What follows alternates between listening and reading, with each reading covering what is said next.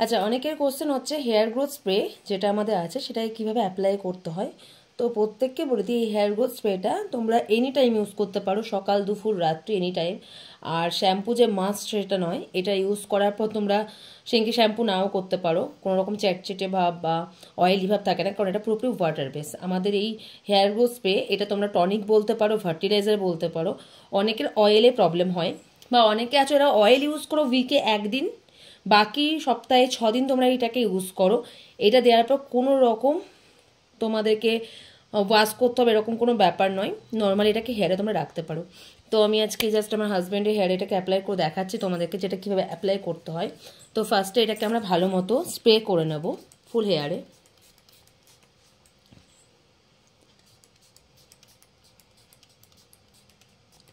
মাসাজটা must এটাতে ফুল হেয়ারে তোমরা spray করবে।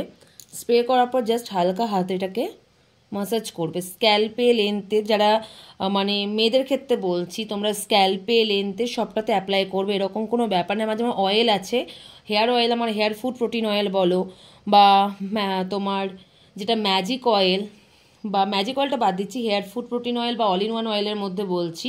ওই দুটো আমি বারবার বলি যে স্ক্যাল্পে লেন্থে ফুল হেয়ারে সব জায়গাতে অ্যাপ্লাই করবে। অনেক অয়েল আছে এটা স্ক্যাল্পে অ্যাপ্লাই করতে হয় লেন্থে বা হেয়ারে দেওয়ার দরকার পড়ে না বাট আমার অয়েলটা ফুল হেয়ার লেন্থ স্ক্যাল্প সব জায়গাতে দেবে।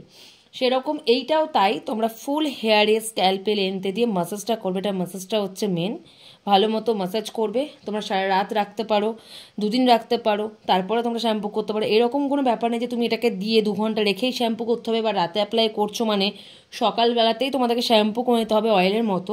সেরকম কোনো ব্যাপার নয়।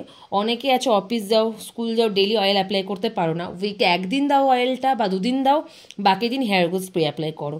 এবার যারা আছো যারা না অয়েলটাই শুধু ইউজ করো সেক্ষেত্রে অয়েল মাস্ট তিন দিন ইউজ করতে হয়। বাট হেয়ার গ্রোথ স্প্রেটার ক্ষেত্রে কিন্তু তোমরা ডেলি অ্যাপ্লাই করতে পারো। আশা করছি সবাই বুঝতে পারলে এটা কীভাবে ইউজ করতে হবে। ফুল হেয়ারে স্ক্যাল্পে লেন্থে পুরোটাতে অ্যাপ্লাই করবে মাসাজটা হচ্ছে মাস্ট এটার।